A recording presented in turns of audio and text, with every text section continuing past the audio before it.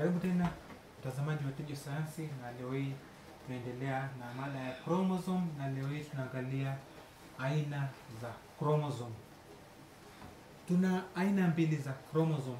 Aina ya kwanza ni autosome na aina ya pili ni heterosome.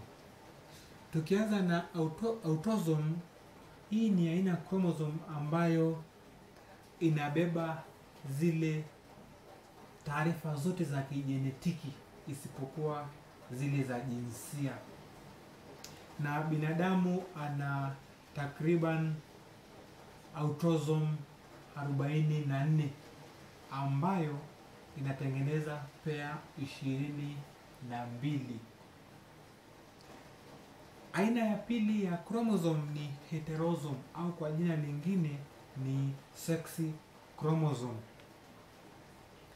Hizi chromosome zenyewe ndizo zinazobeba jinsia ya kiume au hizo ndizo zinazoleta jinsia kwa kiume.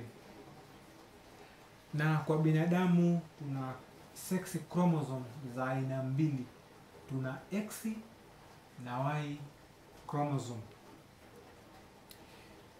Kwa kwa jinsia ya kiume tunawakilisha kwa kutumia X na Y chromosome, lakini kwa jinsia ya kike tunatumia XX chromosome. Sasa kwa kuelewa zaidi, tuangalie chromosome hizi hapa. Hizi ni za mzazi wa kiume na hizi ni za mzazi wa kike. Kama nilivyokuambia mwanzo kwamba mwanaume anaweza akazalisha mbegu ambazo zinakuwa na chromosome ishirini na tatu. Sasa katika aina mbili ya mbegu ambayo mwanaume anakuwa anazalisha, aina ya kwanza ya mbegu inakuwa na autosom ishirini na mbili na X moja ambayo kwa pamoja inatengeneza seti ya kwanza ya mbegu ambayo ina chromosome ishirini na tatu na vile vile aina ya pili ya mbegu ambayo mwanaume anaweza akazalisha ni ambayo inakuwa na autosome ishirini na mbili na sex chromosome moja ya Y ambayo kwa pamoja inaleta jumla ya chromosome ishirini na tatu. Lakini kwa mwanamke yeye anakuwa na aina moja ya yai, kwamba anazalisha yai ambalo linakuwa na autosome ishirini na mbili na sex chromosome moja ya X.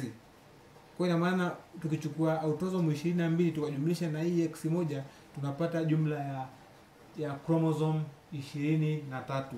Tuna, tunasema ni aina moja ya yai kwa sababu zote hizi zinakuwa zinafanana, kwa sababu hapa kuna X na hapa kuna X. Kwa hiyo tunachukua yai moja kuwakilisha jingine, kwa sababu hakuna utofauti wowote ule. Nashukuru na karibu tena teju Sayansi katika video zinazofuata.